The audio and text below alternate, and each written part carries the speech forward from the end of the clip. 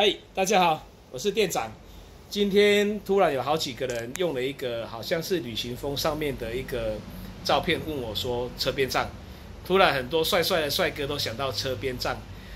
车边帐这个东西哦，一直是店长不是第一个推荐的东西。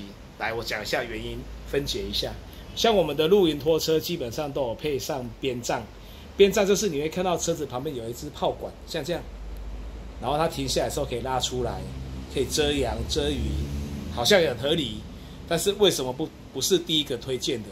因为不管怎么样，还是客厅帐最方便啊？为什么呢？来，像 mini，因为它车高不够，这个是重点哦。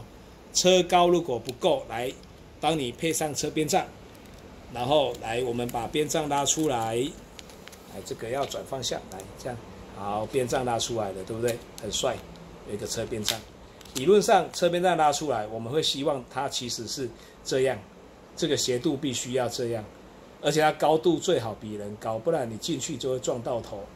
那为什么一般的车型我们比较不建议装？因为你装起来会变，你如果拉起来是吧，可能是拉这样，那一下雨你就知道了，瀑布全部在后面，水从这里灌进来，因为边站不能放平的，水会让它垮掉。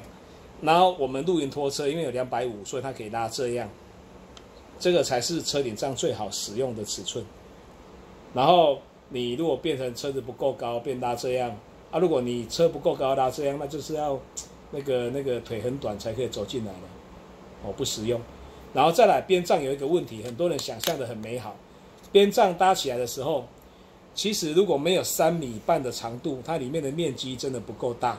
太阳稍微斜晒，你就挡到了，然后你就开始被老婆骂，因为挡不到阳光，阳光一样照进来啊，你又不能随时跟我弄这个玩具车一样，你不能把车随时抓起来换方向啊，你不能随时这样换来换去啊。再来，车边帐它的抗风性没有客厅帐的好，当你在一个地方你拉好了之后，在海边看起来很悠闲，其实你一定要绑绳子。然后，如果你一个人是也不怕阳光，那弄的话，它有它的便利性。